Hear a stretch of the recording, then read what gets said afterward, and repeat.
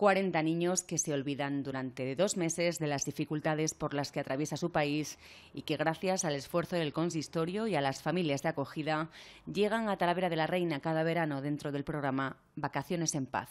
Nuestro esfuerzo en la medida del que lo hacemos, aunque no sea grande, y que sepan que no están solos, que los saharauis no están solos y que Talavera sigue manifestando, insisto, insisto, las mismas convicciones.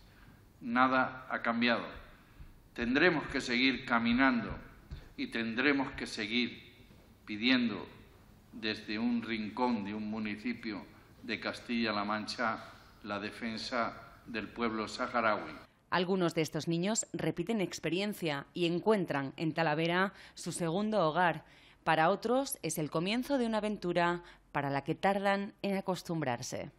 Pues ha sido un poquito difícil porque ella viene un poquito así extrañando a su familia y eso, pero bueno, ahí lo llevamos.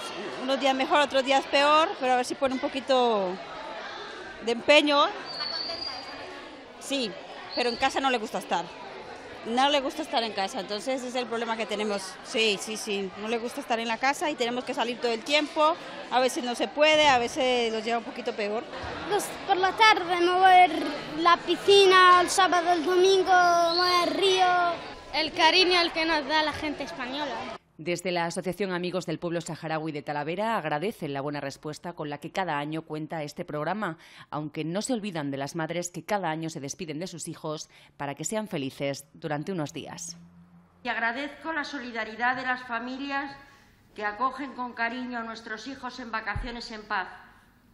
Pero les recuerdo que en este árido desierto permanecen miles de madres anhelando su, su regreso después de cada verano desde hace ya demasiados veranos.